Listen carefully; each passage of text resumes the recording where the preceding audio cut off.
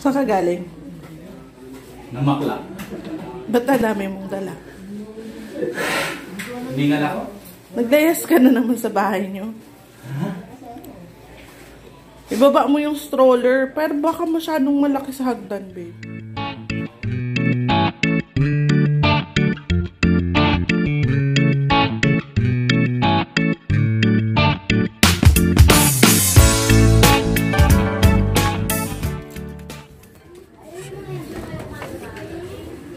Sabi ko sa'yo, ilalabas mo din yan. Itabi mo na lang kaya kay Blue. Wala ka namang kadena.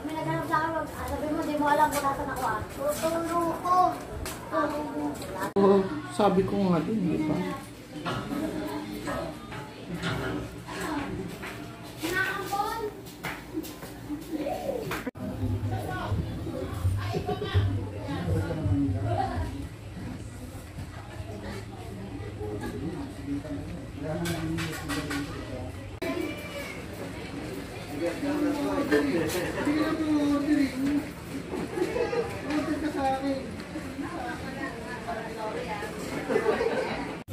Maambon eh.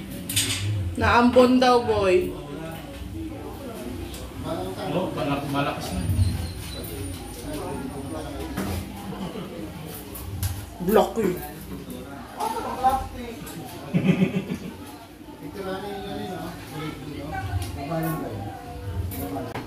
Angat mo pa. Tao dyan, tao dyan. Dito, tao dyan.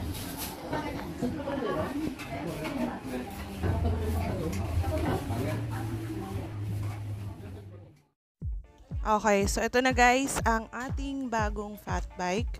Ipapakita ko sa inyo yung mga parts. Pinalagyan ko na siya ng mga label para ah, malaman nyo na din. Ayan. So, let's begin sa body niya. This is the silverback single scoop. Ayan yung pinaka-body ng ating fat bike. Kung makikita nyo. Ayan, diba? Ang lalaki ng mga gulong niya. And yung size ng frame is 7 to 17 to 18 inches.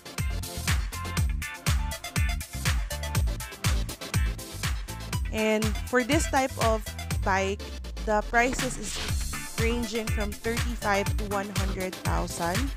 And yung color niya, yung body mismo is pearl white. Um, pag malapitan, meron daw siyang glitters. Pero in this video, hindi siya masyadong makikita.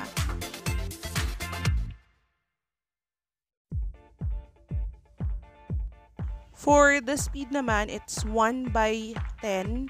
Ah, pag namamaneho na, hindi naman daw siya nalalayo sa speed 11.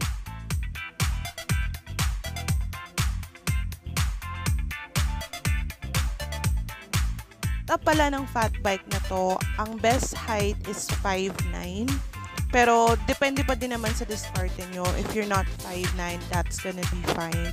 Kasi, um, nasa sa inyo naman yan kung paano nyo ah, sakyan yung fat bike. But, based experience, 5'9 would be the best height for this type of uh, bicycle. And by the looks of it, kala nyo lang sobrang bigat niya. Pero um, you can compare it to a regular mountain bike. This type of fat bike weighs around 13 to 14 uh, kilos approximately. Um, meron pang mas mabigat na fat bike dito but this one is on the medium size kaya hindi siya ganun uh, kabigat. Uh, kayang-kaya pa din naman.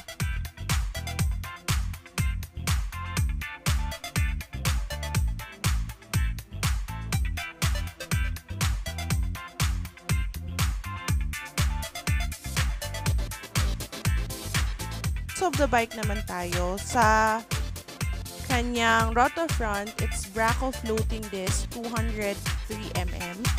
Front hubs is Crimson 135mm. Rim is Control Tech 100mm na may 32 holes.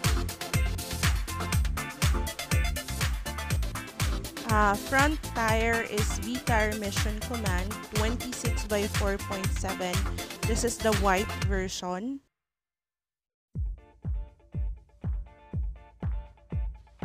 Tapos tayo sa front and then let's go sa likod na bahagi ng ating fat bike.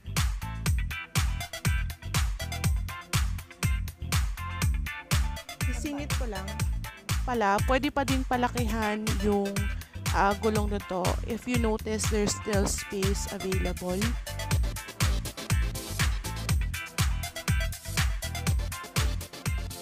Okay, so sa likod naman, it's chosen screwer as you see. Yung back niyang roto is Airwick 180mm. And then for the brake naman, it's Shimano Dior M610 series. Yung hub sa likod, 190mm. For the rim, same lang sila nung sa harap, 100mm na may 32 holes. Also with the tire, it's V-Tire Mission Command 26 by 4.7 white version.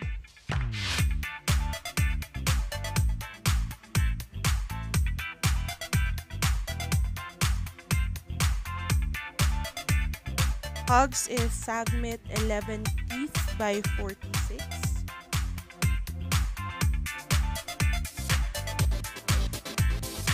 For the shifter, it's Shimano SLX.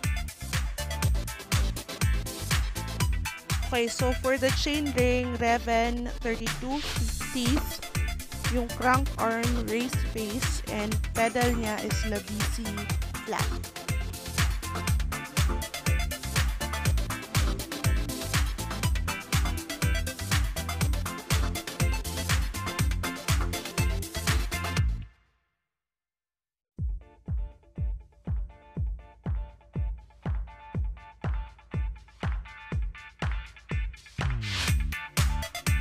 So let's proceed naman sa front pero dito tayo sa may taas na bahagi. Um, for the handle, it's Planet by Chubby. Um, hindi yan pinalagay dahil chubby ako, char. Pero uh, this, it's 710 mm.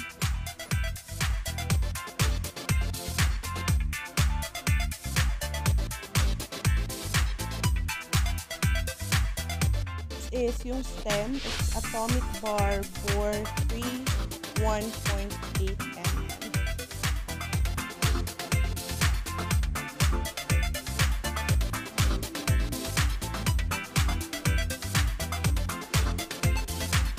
Lastly, ang kanyang seat post which is sector.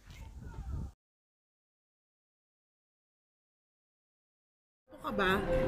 Oo. Kaya nga nakadalawa na nga ako ngayon eh. Sino sabi sa'yo? Kasasabi ko lang yan. Nga?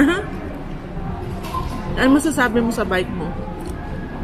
Well, compare sa dati, mas gusto ko ngayon kasi mas magaan siya. Hmm. And madami siyang speed. Ang dami siyang feature. Nalipad ba yon? Yes, lumilipad siya. Lalo na pag maganda yung, pag gwapo yung nagda-drive ng bike. Ah, so hindi lilipad sa'yo yun. Na.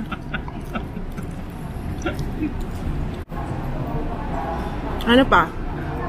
Bakit puti? Anong kakaibahan, kakaibahan ng puting gulong sa itim? Ano? Very rare kasi yung white na tire compare sa ano, sa black. Bakit Kung red? mapapansin nyo kasi, lahat ng fat bike black. Ginusto ko yung white para unique, para lingunin ng mga tao. Wah! Piste. ano pang interview gusto mo?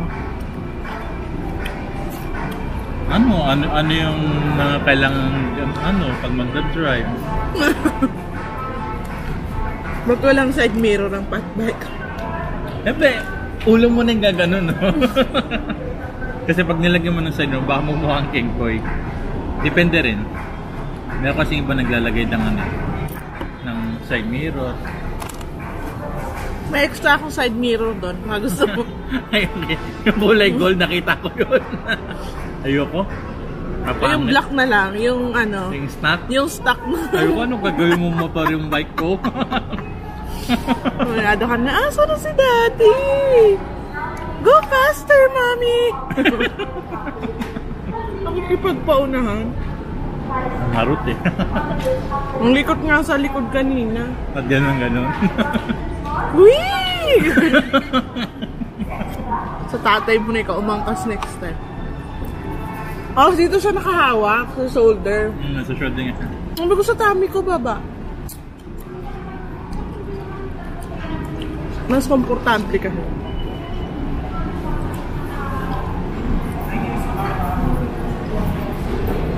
Maalala ko yung pagbaba ni Ada sa escalator doon. Oh? Di ba nakakapag, ano, nakakapagpatigil ng mga tao.